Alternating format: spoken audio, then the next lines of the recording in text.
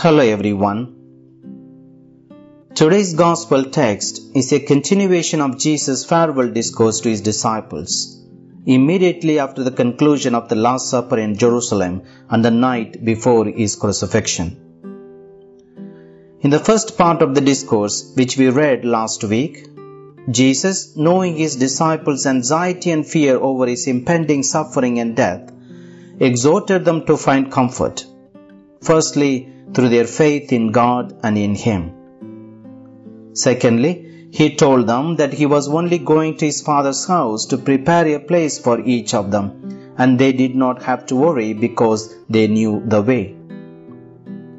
Thirdly, He advised them not to be sad and to trust Him because He is in the Father and the Father is in Him and they are in Him.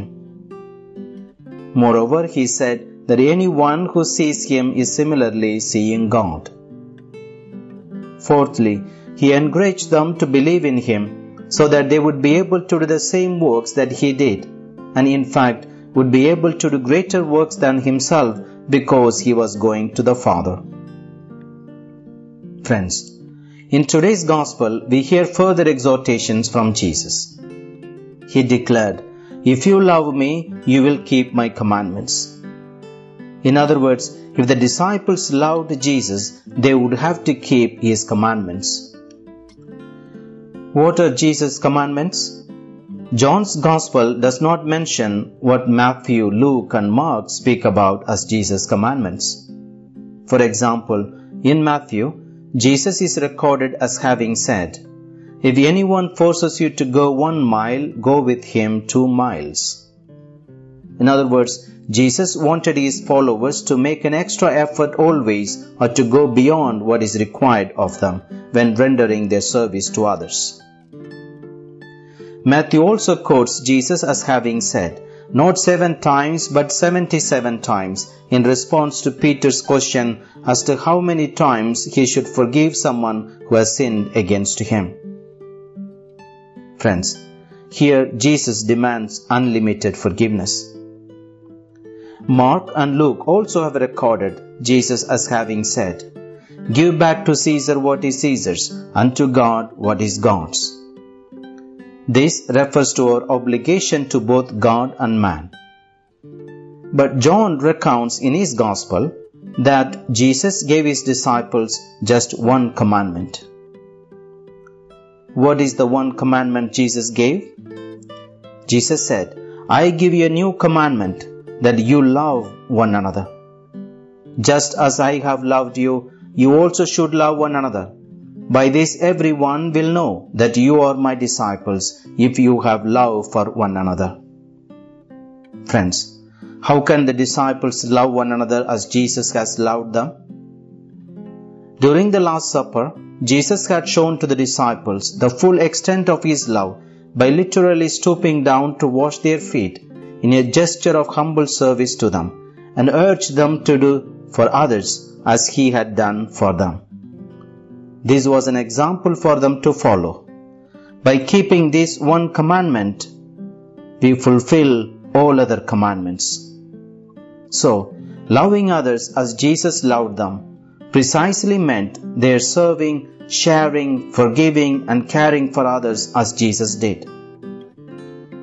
If Jesus' disciples truly loved him, they would have to stop being sad and start proving their love for him instead.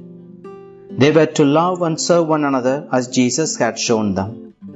At the same time, their love for one another must also be such that others may come to know that they are Jesus' disciples and that they may become worthy to receive a special gift from God, that is, the Spirit of God.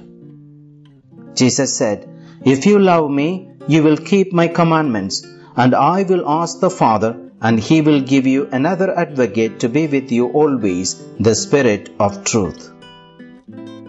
Yes, Jesus promised to give them an advocate as a reward for their faithful obedience. Friends, the Greek term for another is allos, which means another of the same kind. What does the word advocate mean? An advocate is a person who puts a case on someone else's behalf. Some versions of the Bible use the word paraclete, which comes from the Greek word parakletos, which is translated as advocate or helper or counselor or comforter. So, an advocate is someone who represents another person's interests, someone who helps another person in times of danger or adversity, someone who advises and strengthens another person, someone who comforts another person in trouble, distress, doubt, and sorrow. Friends, if Jesus promised to send another advocate for his disciples, who is the first advocate? Of course, Jesus himself is the first advocate interceding for his disciples with the Father. Here, Jesus names the advocate as the Spirit of truth. To sum up, Jesus mentions that he would request the Father to send another advocate to be with them in his absence and to continue to play his role. This advocate would be no less than Jesus had been to them. Just as Jesus is the truth, the advocate would be the Spirit of truth. Just as Jesus came to bear testimony to the truth, the Spirit would bear witness to the truth. However, Jesus said that the world cannot receive the Spirit of truth because it neither sees nor knows Him. Here the word world refers to all those who are alienated or estranged from God or those who reject God's offer of salvation. In closing, Jesus told his disciples not to worry because he would not leave them alone. The analogy to an orphan suggests that he is not like a master who leaves his disciples helpless, defenseless, and unprotected. Instead, he promised to return, and they would see him because he would live, and so also would they live. Thus, that night, while his disciples remained troubled and unprepared for his departure, Jesus gave them hope and comfort. Friends, the main message to be learned from today's gospel is that all Christians should be confident in the protective care of God through the gift of the Holy Spirit. At the very moment that we decide to give our lives to Christ or to become a Christian, Jesus has given us His Holy Spirit as he had promised, as a personal friend and a permanent companion. He is always at our side to defend us against all that is unholy, ungodly, untruthful, and wicked, and to guide us towards the ways of truth and honesty. He has the power to put words in our mouth so that we speak only what we should in our interactions with others. He can give us the courage, wisdom, and strength to stand for the truth and to resist evil.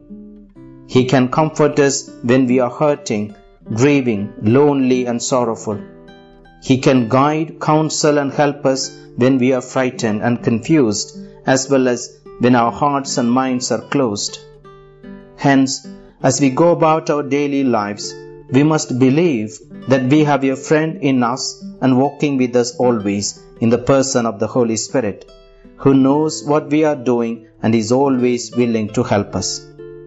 At the same time, we must continually and personally invoke, invite, and call upon the Holy Spirit to come to our aid, to stay with us, to guide us, to enlighten us, and to give us the knowledge and wisdom to discern what is right, pure, holy, and just, as well as the courage to do the things God wants us to do. Amen. God bless you.